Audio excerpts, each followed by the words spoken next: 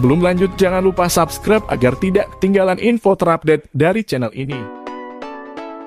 Sesuai hasil sidang Komdis PSSI, Persebaya Surabaya dinyatakan melanggar hukum Komdis PSSI, terjadi pelemparan dua buah gelas plastik air mineral oleh supporter Persebaya Surabaya, yang berada di tribun barat bagian utara saat menyaksikan laga PSS Sleman kontra Persebaya Surabaya, di Stadion Maguwo Harjo pada tanggal 27 Agustus tahun 2022 lalu. Akibat adanya pelemparan itu, Persebaya Surabaya diwajibkan membayar denda 50 juta rupiah.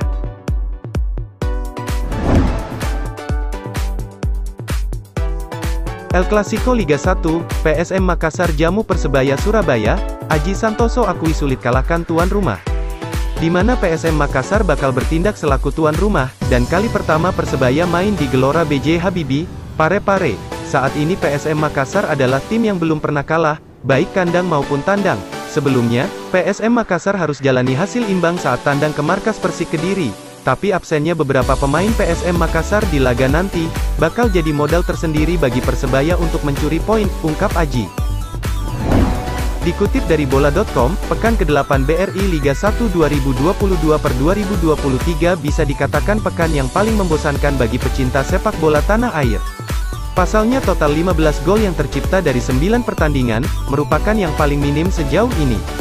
Terdapat 4 laga yang berakhir imbang, Walau kering gol, pekan ini tetap menghadirkan beberapa kejutan, Madura United dan Bali United jadi yang paling liar, setelah masing-masing mengalahkan Persita Tangerang dan Persebaya Surabaya di depan pendukung fanatiknya.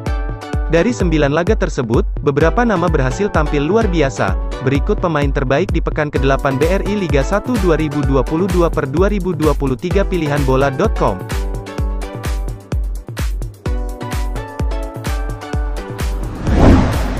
Privat Barga boleh menjadi pencetak gol kemenangan Bali United di markas Persebaya Surabaya, tetapi peran luar biasa ditampilkan William Pacheco di pertahanan klub berjulukan Serdadu Tridatu tersebut.